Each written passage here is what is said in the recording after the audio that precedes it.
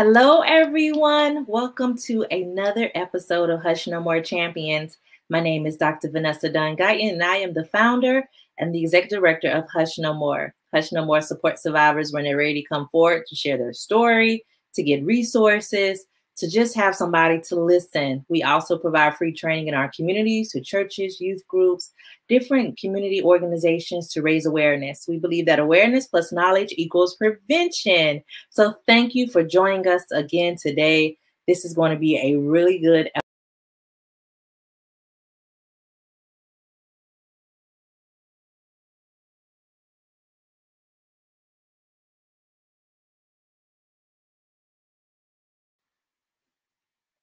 Did y'all see that? I'm really excited because I have the beautiful Elizabeth Sullivan. Welcome, Elizabeth. Hi, nice to be here. Thanks for having me. I am so excited that you're here. Tonight, we're going to talk about empowering survivors, which is yes, a great topic. Great, great topic. So, tell the audience a little bit about Elizabeth. All right. Well, uh, I live in Minnesota. And uh, years ago, when I was probably around 42, I was what you call triggered. And uh, that trigger brought me into a lot of um, childhood sexual abuse memories, uh, triggered a lot of flashbacks, went into full PTSD. And um, through all that, I ended up uh, starting an organization by the name of Empower Survivors, uh, located in Stillwater, Minnesota. Um, the mission of Empower Survivors is to uh, support those that were affected by childhood sexual abuse. And uh, so that's what I do. I love it. What do you mean when you say triggers for people that's not really um, familiar with that term? Sure. So a trigger is something that I'm sorry, you're just no, no, you're fine. I, I so darn cute that I just. so a trigger, a trigger is something that in your your present life um, brings you back to the past.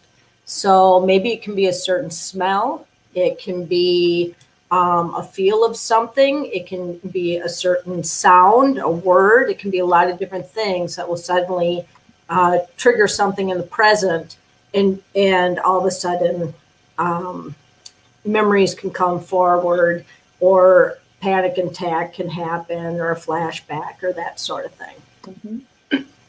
i don't think people really understand triggers and mm-hmm. how they happen because they'll say things like how did you remember how did it why did you wait so long to tell because you didn't mm-hmm. always know you weren't even in that present so i'm glad that you explained that because a lot of people don't understand triggers and how often they happen and that is real. And that is Absolutely. real.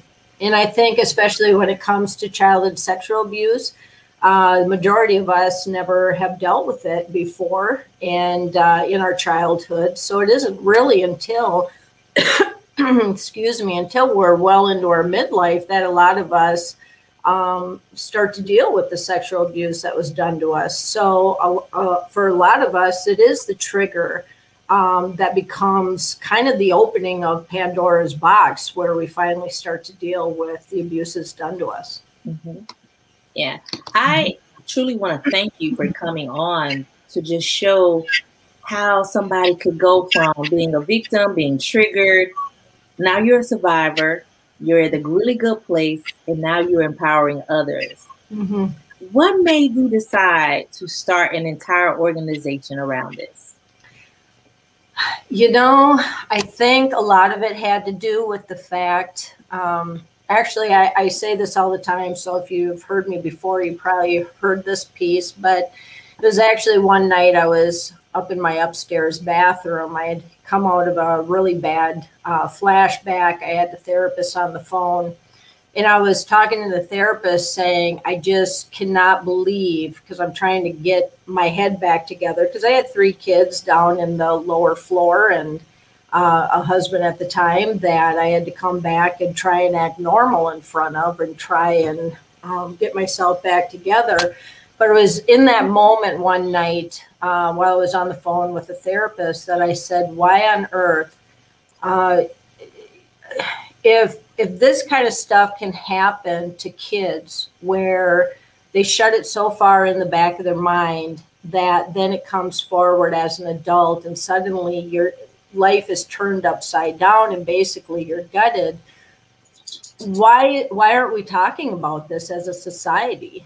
Why aren't we talking about it? Why aren't there more opportunities um, of growth for survivors? Why why is it that we're having trouble having therapists that know good trauma care and that sort of thing? And i think it was out of some anger and frustration um, that actually made me decide we need to form an organization because I wanted something uh, where people that had lived experience that were further along in their journey could eventually um, help others. And I think there's something that's part of the healing journey that really helps the individual when now you take what has happened to you and you use it to help others. Mm-hmm. I think that is a big healing journey for me. I love helping others share their story.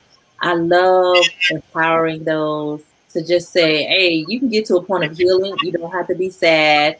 You don't have to be broken. Let's get to a good place. And to show other people that there is the possibility to get to a healthy place.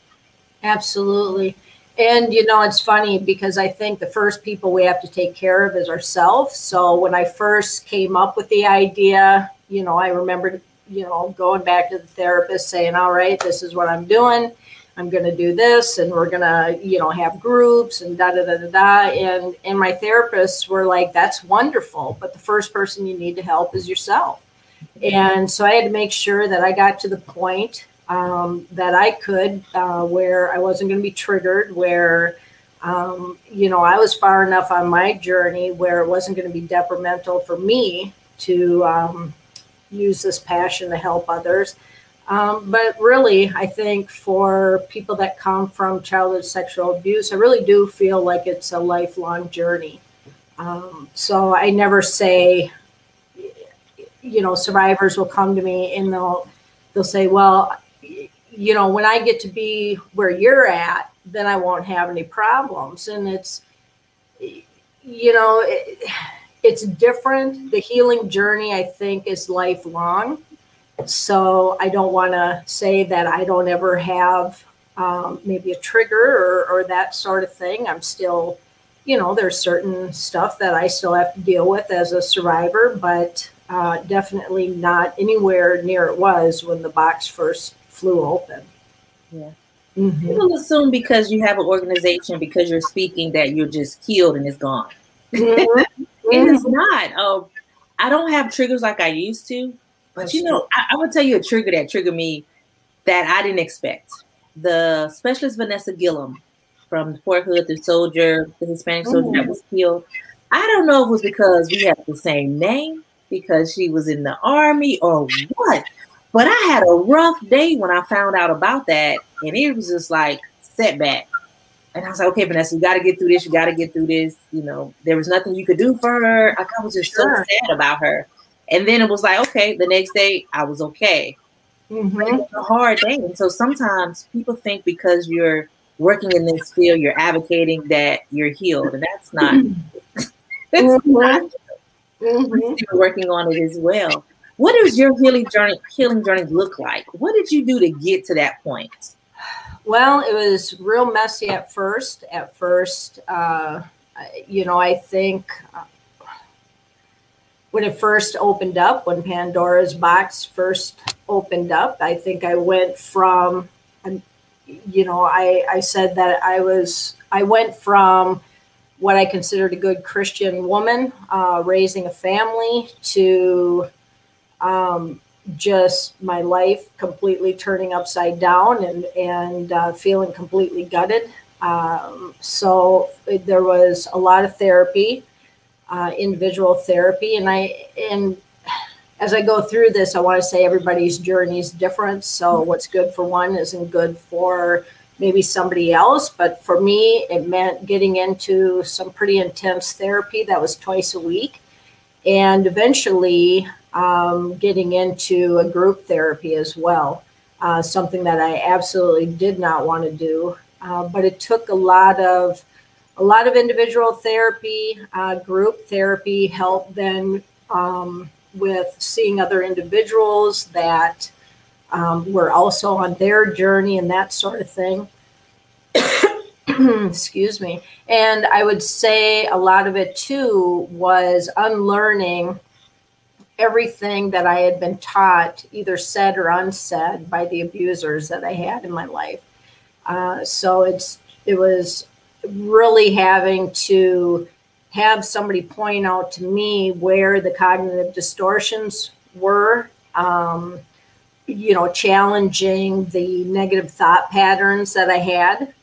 Um, you know, so all of that, a lot of reading. I did uh, just unbelievable amount of research because I, I really wanted to figure out myself more. Uh, not only figure out myself more, but I wanted to understand the neurobiology. I wanted to understand um, how it affected the whole person, mind, body, and soul. Uh, so a lot of research and and you know finding um, people in my life that were going to be supportive of of myself and my journey. Um, and it meant also weeding out a lot of individuals that were going to help keep me sick rather than empower me to be um, a healthy woman. So, you know, it meant uh, ending some relationships that I may have really um, loved, uh, but knew that it was going to keep me stuck. So a lot of different changes like that, a lot of a lot of um, growing in self awareness, and really um, having some good therapists. I had two different ones, and and I had to be taught what boundaries were I had no idea what boundaries were. I had no idea what healthy relationships looked like, um, and uh, and had some pretty bad self-esteem issues and that sort of thing. So uh, a lot of a lot of growth in those areas too, and just having somebody that I could trust to sit down and dissect all these different thought patterns uh, that I had due to being abused. Yeah and that sounds like a lot. And I'm pretty sure it's not all. That's oh. the condensed version. How many years? That's very condensed. How many years from when you found out from your trigger, when you remembered everything and it started coming back, to starting the organization? How many years was that? trying to think because I started excuse me, I started in 2012. Uh, that's when the box, I say, flew open. That's when I really started to deal with the things. And it wasn't, well, it was actually kind of early. Uh, about 2014 was when I decided, okay, let's let's start looking into this. Let's start um, kind of the very infancy of the organization. So 2014. Okay, that's not a long time. Mm-mm. I mean, you was doing some work, but you said you were going to therapy twice a week, so that's a lot too. So mm-hmm. what's working? I, I, love that that mm-hmm. you did it. You were ready to heal and ready to get to the next level. That's oh. imperative. Well, you know, it's funny because I thought that I was ready at first. Uh, but you know, I danced around the issues in the therapy office and didn't. Uh, I I wanted to heal, but yet I didn't want to go anywhere near um, any topics that I'd have to go to in order to heal. Uh, so I think I, you know, at first spent a lot of time avoiding. And then at a certain point, I realized that with this, there's no avoiding, that you have to look it straight in the eye and, and work through all the muck and mess and everything else. So and I still, even after uh, starting the organization, you know, I still continued with therapy and that sort of thing. But I had to wait until I got to that point where it was, you know, safe for me to take the next next step. And and sometimes it meant three three days of therapy a week. It just depended where I was at. Yeah, I, I, like that that you're transparent about it, and you have to put in the work. Mm-hmm. It is mm-hmm. important to put in the work. It Absolutely. Um, we have. Mm-hmm. Oh, I'm sorry. No, no. I was going to say the reason we it, another thing too I had to learn about putting in the work was I think there was a part of me that thought um, somehow somebody else was going to come around and and fix it for me. And I think uh, one of the hardest things was realizing that in order to really uh, move forward, it meant I was going to have to go inside and I was going to have to be my own hero because uh, nobody else was going to be it. And uh, so I think that's part of the learning uh, too that goes along with this. Mm-hmm. That's quotable. Nobody else is going to be your hero. Got to be your own hero. Sounds good. that, that's the quote, Elizabeth. I love that. You are your own hero. Yeah, you are your own hero. Nobody coming to save you. You got to do it yourself. Yeah, sadly, that's the way it is, isn't it? Yeah, I could laugh about it now, but I was like, nobody mm-hmm. saved me. You have to get up and do your work. Mm-hmm. So we yeah, have it's ugly work. like you said, messy. I love it. It is messy. You know, you're gonna mm-hmm. cry, your makeup's gonna run, you know, you're gonna be frustrated, but I love that be our own hero. Mm-hmm. Yeah. So Kim said, Hi Kim, welcome to the show. You said they really don't understand. I had a conversation with my mom about her not understanding why people remember their abuse after so many years people don't. I like when we talk about the memories and how Absolutely. we suppress them and we've made false memories and how everything just works around with the, the neuroscience. It's amazing about how the brain suppresses trauma. Mary said, I have never spoken where I share my story that one or more people share some part of their story. There is confidence that comes for others with sharing our stories. And she also says setting boundaries is essential to healing. There's mm-hmm. a reason and a season for those in our lives. Letting go is hard. Yep. And mm-hmm. therapy is so important. You learn that you cannot jump or walk around the fire. You must walk through it. Boy, that fire is hot too, Mary. So thank you for that. yeah. And ugly. It's it's an ugly thing. Absolutely.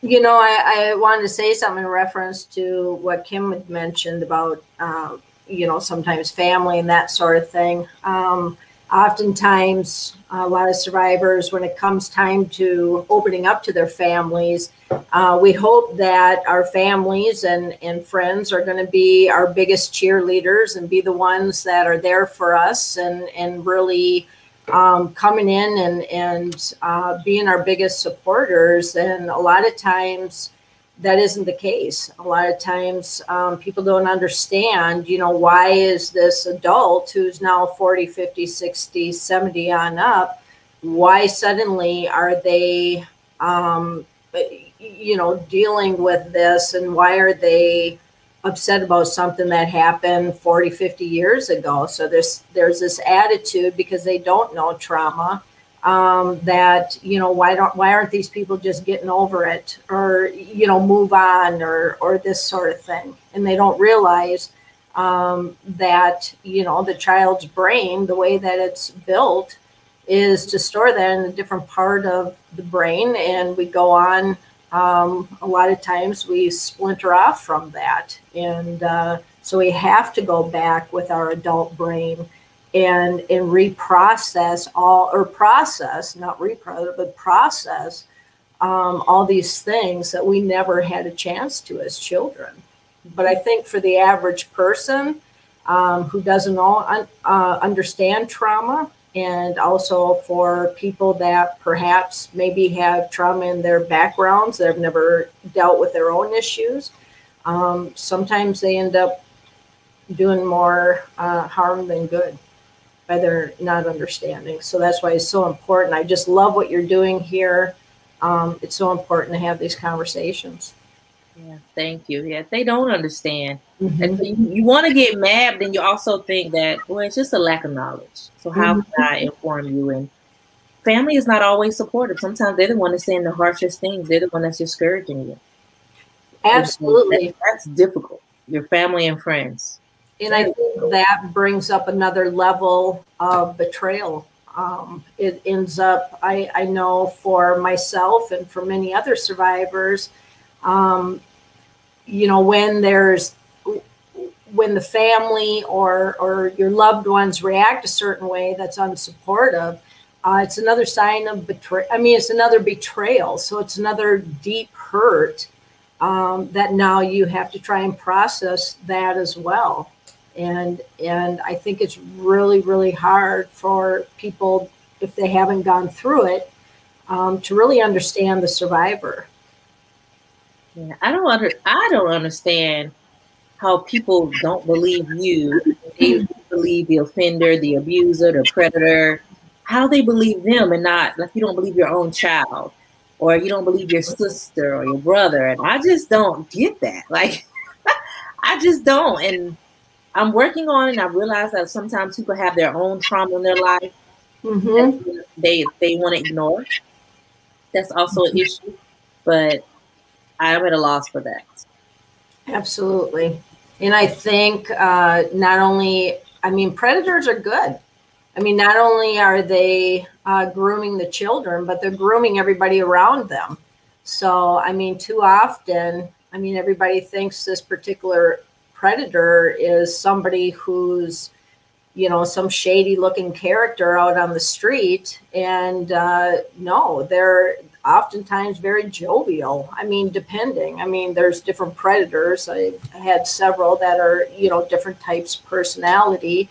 Um, some were very kind. Some were were um, horrible and uh, really evil and and uh, cruel, and other ones were cruel, but in a more uh, how do you say it? Uh, kind of more sly way, a more um, kind way. So, I mean, oftentimes a predator might be loved by other people. Mm-hmm. I always think about Ted Bundy, how charismatic mm. he was. Absolutely. Everybody loved him, people trusted him. So that's what they look like. You know, mm-hmm. the handsome, the nice, very sweet, loving on everybody. That's what they look like. Absolutely. They're not the stranger behind the mask you know? No and not that i mean and really we you know when we talk about child sexual abuse majority of it is somebody that the child knows and and trusts the family trusts. Mm-hmm. um, you know very very rare is it the stranger just off the street. So i mean yes that does happen uh, but unfortunately a lot of times they're the people right inside our own families. Mm-hmm right in our house, right? That's mm-hmm. smiling in our face. That's what mm-hmm. makes me so mad. mm-hmm. So Susie said, um, getting therapy is key. Thank you, Susie, for joining us. Linda said, Vanessa, we have to be our own heroes. Yes, we do, Linda. I, I love that whole concept. Mary said she started therapy in 1984, not only for herself, but her family. And still today, like Elizabeth, she, it's ongoing. So she can relate. Absolutely. There with you when that people don't understand. She thinks people do understand it, but they are not ready to hear your trauma that triggers theirs. Yeah. Mm-hmm. So um, I do believe that they have some underlying trauma, and they don't want to hear it, and they don't want to really admit that this thing has happened. You know. And sometimes I think it goes. I, I really don't think they always know. Sometimes they know. You know right and wrong. Absolutely. Mm-hmm. You know right or wrong. Mm-hmm.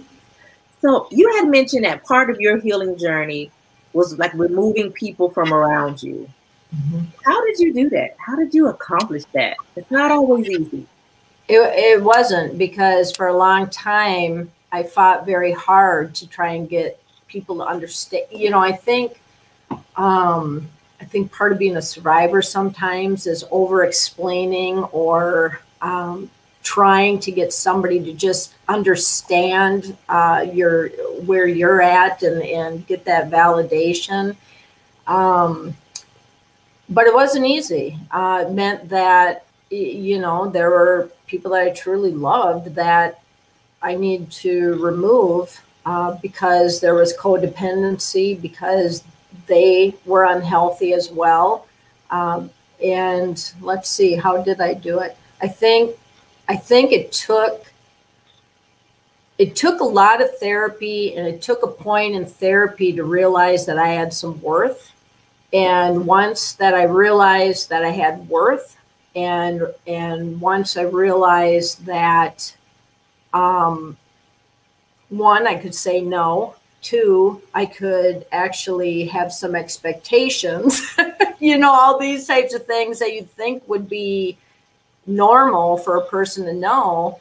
Um, I didn't uh, necessarily know. So I, I, I, would say that it was, uh, it took a lot of therapy to get me to be able to do that. And at a certain point, when I got far enough in my healing journey and I, I knew I had worth, I knew that, um, you know, that that it was okay to have certain expectations. Uh, then at a certain point, I thought, you know what, I deserve better than this, and it became easier to cut people out of my life. But but it was hard. It was really hard because I kind of had a habit of if there was um, if there was somebody that was going to be really nasty as far as uh, somebody to date, uh, I tended to go for those. And you know, you pick what you feel like you're worth. And unfortunately, um, looking back, some of the choices that I made were abusive and um, what I, you know, what I allowed um, was unhealthy. And uh, even though I wasn't responsible for other people's behavior of how they treated me, um, you know, I taught them in ways because of where I was coming from uh, that it was okay to treat me like that. Um, now I'm on the other end of it where I have to be careful not to be too rough on somebody and and uh, you know have too big expectations. But you know we're not going back to what we thought would be okay before because it usually meant uh, either domestic type of situations or or something else and uh, so yeah. When you know your work, that is powerful.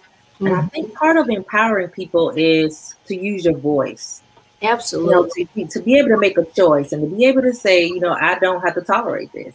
My mm-hmm. new motto is if you're not adding to my happiness, because it's my responsibility to make me happy. Can nobody else make you happy? Mm-hmm. It's your responsibility. But I need you to add to it. You need to maintain it and add to it. If you're not doing that, then you can't be in my circle. Absolutely. So I've been telling people remove people out of your circle if they're not doing that. They should be making you happy, adding to it, adding yeah. to your happiness. And so it's important that you have you identified that and you did it.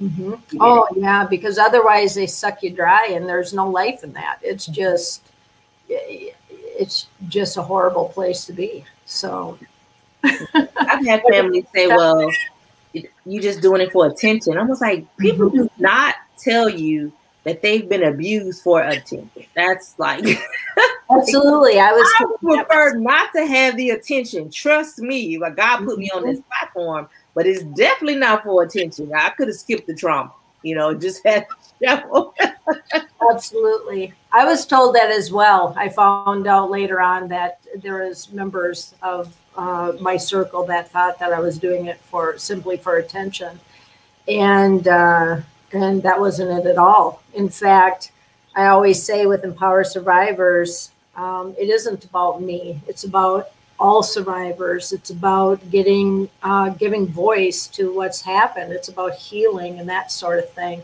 Um, but it's going to take people like you and I and other survivors to come forward with our stories and uh, or to um, get healing uh, to to fix this issue that we have. This, you know, because it affects every part of society.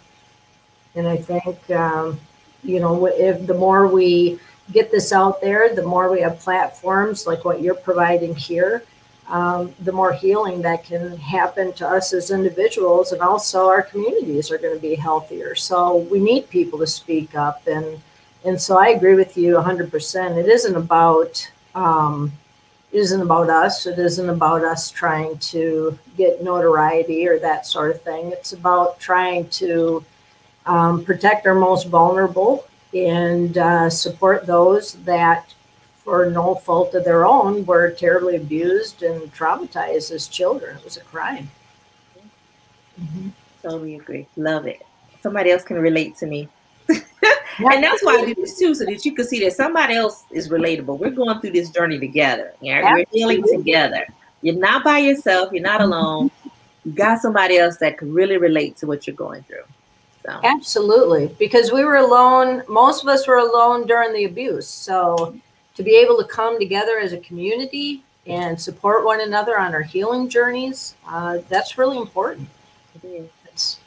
Right, you have two questions. The first question is from Mary.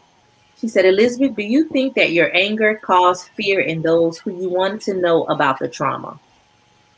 Did you experience that? Uh, well, I definitely experienced anger. a lot of it. Um, can you say the question? I'm sorry. Can you say the question one more time?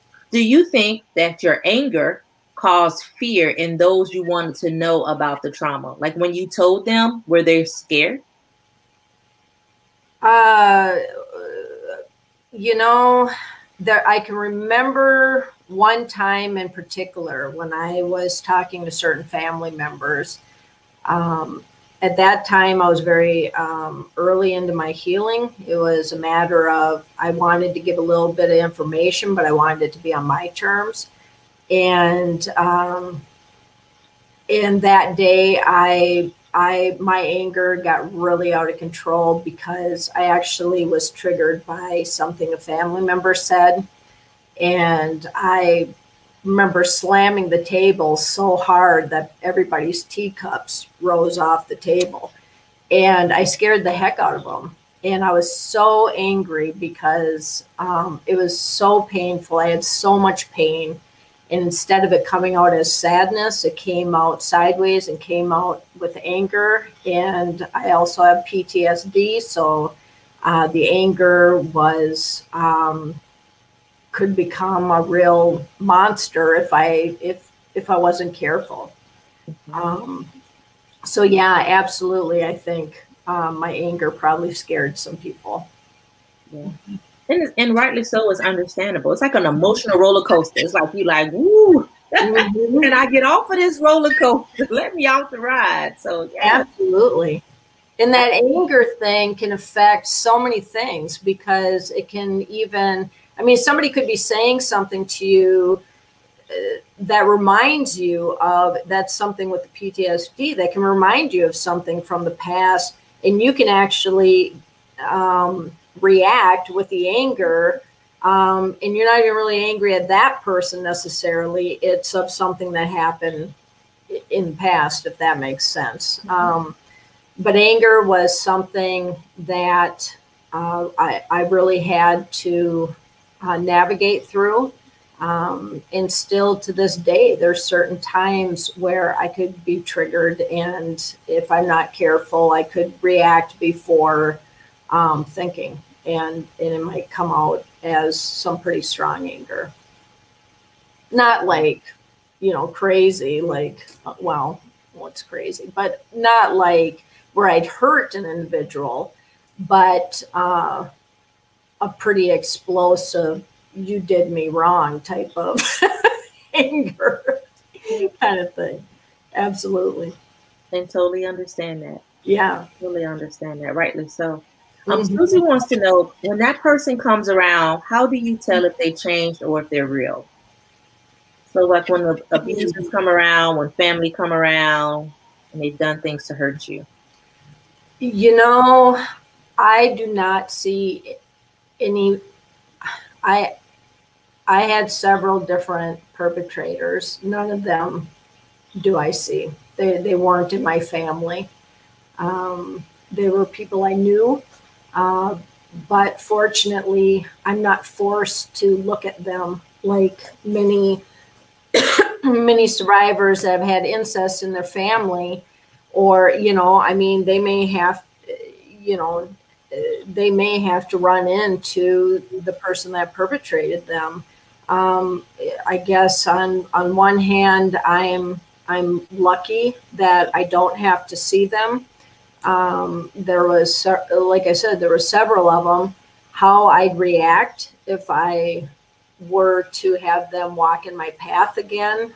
I'm I'm not 100% sure. There was several years ago where I thought um, I was walking into a store and I thought the person that had uh, raped me as a child uh, was walking out, and I immediately froze. Um, so I guess I'm lucky in the sense that I I am not see, having to see any of them. Mm-hmm. Yeah. You know, and that was the thing too of why I I actually opened the nonprofit where it is because most of my perpetrators were in the hometown that I lived or in the we're we're kind of on a border uh, right on the river so you just drive across on the bridge on the river and we're right next to Wisconsin. So I had a perpetrator in Wisconsin. I had several uh, in uh, the St. Croix area in Minnesota. And uh, so, kind of my way of getting back was to put this organization right in the epicenter of that and and have a conference um, a yearly conference that would draw attention and there's part of me that thought, you know, I almost hope that they see what I'm doing um, because they should be shaking in their boots a little bit. I mean, they, not that, you know, because sadly, most of the time, our perpetrators aren't seeing the inside of a jail or a prison. I mean, sadly, most of them will never see it you know, will never be held accountable for the crimes that they did. And none of mine uh, did. So I guess this is one way of me to get some personal satisfaction is to be in the area and kind of be as loud as I possibly can without sounding too crazy. you're loud too, and I love it. I love that you're loud. Um, I, I, Susie, I think that um, for me, forgiveness is for myself and not for them. And I don't know if they ever change or not. I just have to move forward from them. I just have to. I can't worry about you. I don't care about you. You're never gonna be in my space again. Like I don't have to. I God says I have to love you, but I don't have to like you, and I don't have to chill with you. Was that the question? I'm sorry, I went off on a little tangent. No, no, you answered it. Forgiveness. No, you answered it, but oh, okay. um, because you're because you really couldn't speak to that one because that's not for you. But Linda, she made a comment. She said she disclosed to her brother to protect her daughter, his daughter. And the family told the perpetrator, which was her father, and disowned her. So sometimes family will push you away, or you can push family away. But uh, for me, I just need to move on, not worry about who you are, and I'm just not going to deal with you no more. You're completely out of my circle. Mm-hmm. Because people, people may change, but that's for them and God to know. and you know, another thing about that forgiveness piece is people will always, uh, you know, they'll say, "Well, you have to forgive." Um, I'll never at at our organization, we will never tell you that you have to forgive your perpetrators. Um, that's totally up to you if you decide to do that, but that isn't something we're ever going to tell you that you have to do. Um, the only person I say you really truly have to forgive is yourself uh, for all the things that you had no control over. You know, go easy on yourself. It wasn't your fault. You didn't do anything to um, to make this happen or have this happen. You didn't choose to have it happen, and and so uh, forgiving yourself is really the key. I love that and I I have forgiven myself, which was really hard. You gotta be gentle with yourself. Mm. You gotta be gentle with yourself. Absolutely, self compassion. I mean, mm-hmm. because too many of us, frankly, you know, it's really unfortunate when you think about it. I mean, it's bad enough you're sexually abused and raped as a child, but then you we we take it on, we take the bullet, and uh, and and we hate ourselves for it and uh, in in our healing journey, Uh, we have to learn to forgive ourselves, have compassion for ourselves, have compassion for the little person inside that there's no way could have stood up to anybody who's an adult. Um, and, and so that compassion, I think, is hugely important for the healing journey. I, I do too. I truly do too. You can't move on. You can't move forward if you don't do that. Absolutely. I don't see it. You just we can't really move forward. So tell me about your organization and how do they, how do you and your team empower survivors? What does that look like from an organization standpoint? Well, up before COVID, before we had COVID, we had a once a year annual event that was a conference that would bring people together from the United States. Um, and well, I mean, people could have flown in from outside of the United States. Maybe that will come at some point. But uh, we had a yearly conference. We did a lot of um, peer support groups uh, at our organization, but with COVID and everything else, and having to uh, deal with the changes that came about with COVID, uh, everything switched to online. So at this point, everything's over Zoom. Uh, we have uh, the way that we empower people is to create communities of safe spaces where survivors can gather, where we can support one another. So Monday nights we have conversations with Evie and Elizabeth. Uh, Evie is a um, somebody who has come on board and just been a phenomenal asset to the organization. Uh, so it's that's more topic driven. We talk about different things that are pertinent to survivors and healing.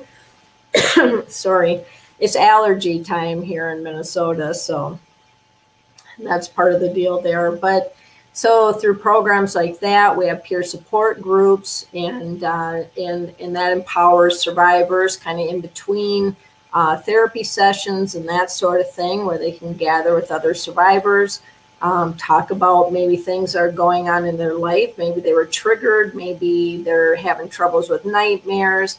Um, so providing that safe space where you can have those types of conversations. So uh, basically through programs, classes, and in the peer support groups. And then, of course, we also have several groups on Facebook, uh, closed groups, uh, several that are for um, sexual abuse, um, some for uh, child abuse and trauma, and then uh, a new one that's uh, for women in transition that are going through divorce or, or um, trying to decide uh, whether or not that's going to be the path they take. So we really, I, I think the biggest thing for us is uh, a peer led model. Uh, so at Empower Survivors, we we don't have a psychiatrist or a psychologist on staff. Uh, what we are are certified peer support specialists that, uh, through our own experiences, are facilitating groups and that sort of thing. Um, of course, as as a facilitator, uh, we do talk to other therapists to to get information, to ask questions if, if we need to run something across somebody or something like that. Okay. But it's a peer-led initiative, so anybody who's involved with the organization has some uh, either was abused themselves or a child of a abuse survivor which is value added to be a child of an abuse survivor as well. A different perspective, a different topic. So I really like that. Mm-hmm. I, I, think that people should try support groups. You may or may not like it. You mm-hmm. know, I've liked some. Then I was like, I'm never going back to that one. so Absolutely. I think it's a safe space and find the support group that works for you and that you fit in. I think that's Absolutely. very important. And and the thing of it is, is I mean, it's scary. It's scary to think about going to a group. I think the first time I ever thought about going to one, I well, I wasn't thinking about it. It was something that the therapist told me they thought I needed, and I thought, how can I possibly open up to people that I don't know? Um, and that's scary.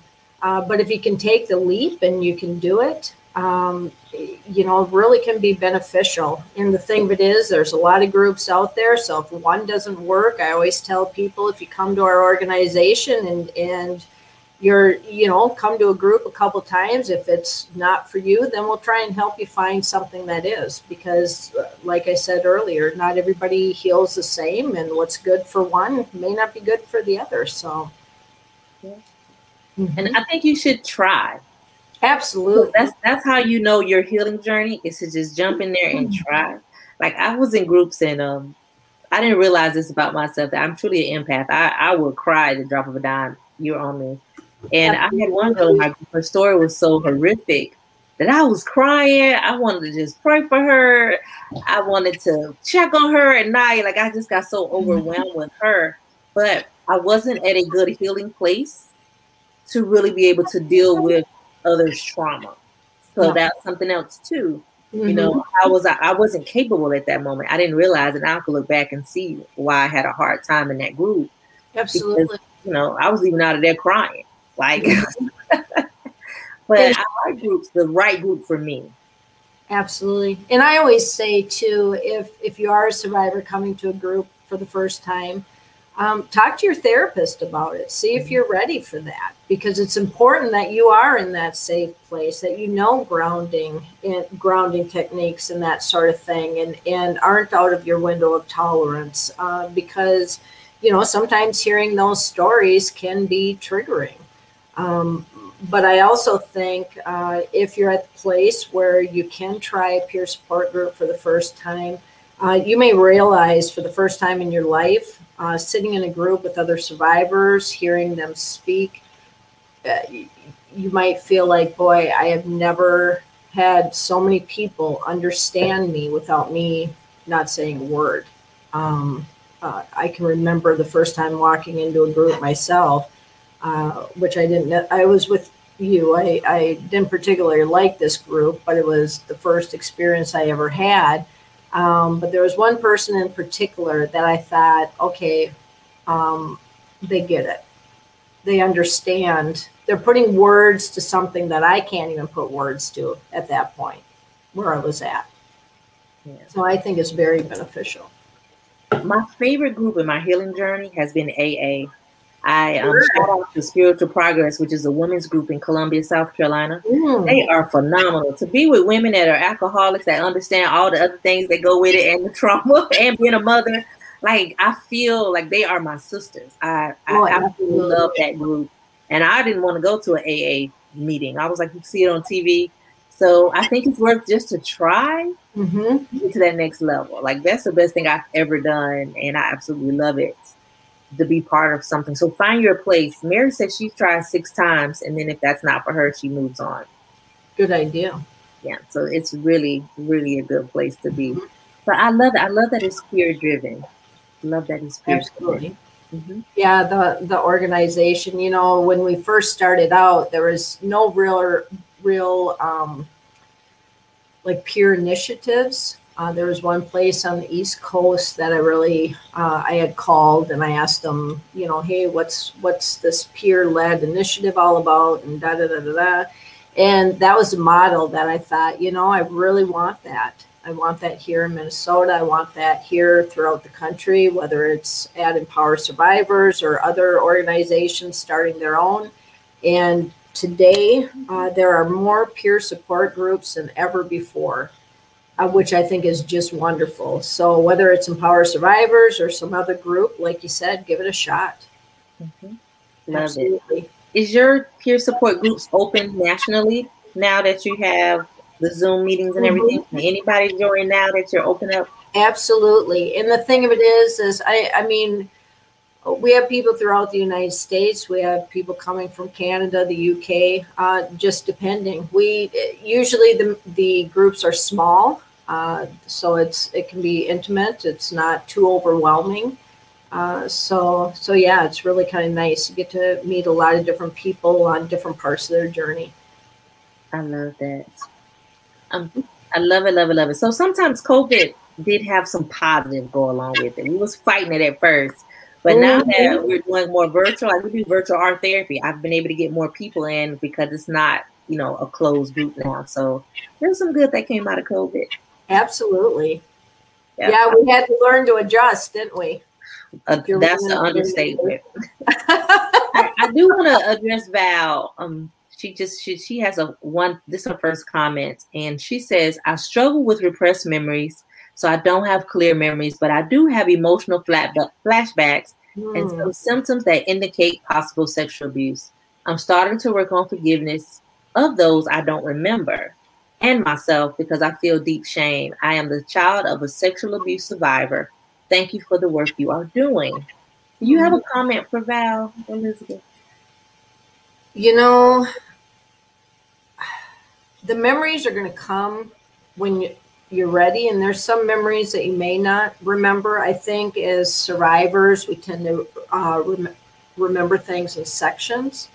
Um, so some of them you may not remember, but that shame as you work through your trauma, as you're you're with others that have lived experience or or a therapist or that sort of thing, that shame will diminish. But it's it's hard. That shame is a hard thing to to work with. It's but it does it does begin to ease as you get further along in your journey. Thank you. Um, thank you for everyone that has shared tonight. I always say that we shouldn't carry the shame. The abuser should. Mm-hmm. They should be ashamed of what they did to us. Mm-hmm. We should not be ashamed that they harmed us, took advantage of us, abused us. We shouldn't carry that. And so I really want people to to work on it's not us and say, not gonna be embarrassed, not gonna be ashamed. They should be, you know. Absolutely. But that shame, that's a hard one. It's a hard one. It's really, really hard. I can remember I used to call it the cloak of shame, and I wore it. I wore it well, and uh, it's tough. But it is. You're right. It's it's not ours to have, and and so part of the healing journey is to take that and put it back on the perpetrators, the people that truly should house that shame. There you go. So we are winding down we're getting to the end of this journey. What is something that you just want to share? I want you to share about the organization and just some last words with the audience. I would say uh, if you're nervous to come to a group, uh, give me a call. We can. I always start out with, um, you know, I, I think it. Like I said, I think it's really hard for a lot of survivors to come to an organization, to come to a group, and and then on Zoom that can add even a more uh, nervous because you're not maybe you've never done that before, um, but you just take the step, take and make the call. Um, if it helps, we can sit down and have a conversation over the phone, over Zoom. Uh, try the meetings, but most of all, you just got to try and go easy on yourself. Um, be delicate with yourself. Know that uh, you deserve love. You deserve support. You deserve to have people around you that are going to support you, and um, and keep putting one foot in front of the other. And there's going to be days where you think there's no way I can go on. That the, you know, maybe you're having horrible flashbacks, and and it feels like you're doing minute by minute just to survive, but keep putting one foot in front of the other. And at those times where you truly feel like you may not be able to go on, keep going on because you're going to get through that muck and grime of all this garbage and it's going to get better. And and you just got to keep pushing forward. It gets better.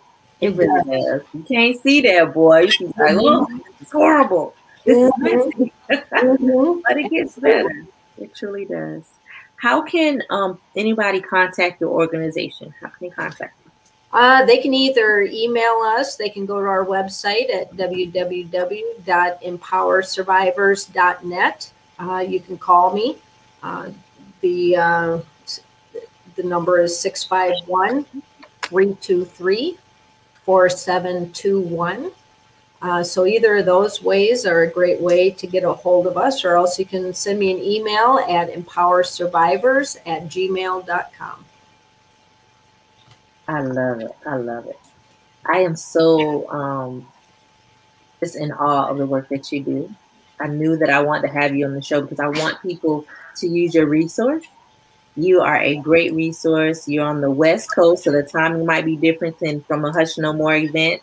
And your poetry night was phenomenal. The the spoken oh, I enjoyed it. I so enjoyed it. Oh, it good. space. So thank you for the events that you do, raising awareness. Yeah, you're amazing, and I love your team. And I just hope that you all keep doing this because when you help one person, you're helping so many more. So thank Absolutely. you so very much, Elizabeth. And thank you, Dr. Vanessa, for having this platform and having me here. I really appreciate it. You're lovely. You're welcome. Oh, lovely. I love it. You're lovely. All right, so you heard from the amazing Elizabeth Sullivan of Empower Survivors. She's great. I want to leave you all with just a word of encouragement that you can empower, be empowered, empower yourself. You can be happy again. You just have to want it and put in the work. It's not easy. You heard Elizabeth talk about the work that she put in. We get here by working hard, going to therapy, talking to mm-hmm. ourselves, you know, mm-hmm. pouring into others. It's how we get here. So you can do it just like we did. So please be encouraged. Also, join Hush No More for events throughout this month. It is Sexual Assault Awareness Month. This is one of our busiest month of the year, raising awareness, participating in events in your area. Tomorrow night, we have Jenna McKay. She's going to talk about the story nobody wants to hear. It's sex trafficking, which is also sexual assault. So join us tomorrow night at 8 p.m. That's a special because we're normally on Tuesdays. Next Tuesday, we have Richard and Kathy Butler of Comfort in the Storm. They're going to talk about what happens when you find out your child has been molested. What do you do? What do you do? How do you handle it? And how do you report it? On the 27th, we have Dr. Lori Pitts, and she's going to talk about healing from the inside out. So, what does healing look like? How can you get there from a natural, spiritual way? It's really a good way to just look at yourself, look at yourself, and show what what is on the outside might not be what's right on the inside. You know, we wear these masks, and I want you to think about that. Your outside don't look like your inside, and we're going to talk about that with Dr. Lori. Finally, I want to go over our big event that's coming up. This Friday, we have spoken word. If you are a poet, I would love for you to participate. If you want to sing a song, you just want to share some information with us, we would love for you to come. It's a safe space Friday night at 8 p.m. Eastern Standard Time. On Saturday, we have Survivor the Warrior. We're going to do that in Columbia, South Carolina, but we will also be streaming it live at 9 a.m. Eastern Standard Time. Come out. We're going to be social distancing and learn from head instructor Lance Adams. He's phenomenal. I believe that if you want to fight back, we can teach you how to fight back. We can give you some tools to be able to protect yourself, right? So join us on Saturday. Sunday, we have the Hush No More documentary screening that shares the stories of survivors who have overcame the hush topics. You could grab you some popcorn, stream it with us at 3 p.m. Eastern Standard Time. Then on April the 24th, we have our Child Sexual Abuse, Sexual Abuse Forum, which is going to be pretty neat this year because we're going to be talking about technology, and how can you protect your children from a perspective of the internet, from their cell phones? You need to know technology because abusers are floating on the World Wide Web. So let's protect our children. I want parents to tune in with your kids because we have advice for both of you. So I am truly honored to be here with you all. I would love for you to contact us at hushnomore.org or at our phone number 888-285-2161, or you can follow us on social media platforms. We provide free counseling. We have art therapy on Thursday nights at 7 p.m. Join us. But we would love for you to be part of our community and help us show love and kindness to survivors. So thank you once again, Elizabeth. Thank you all for joining us. And I look forward to just being a blessing to all of you. Thank you.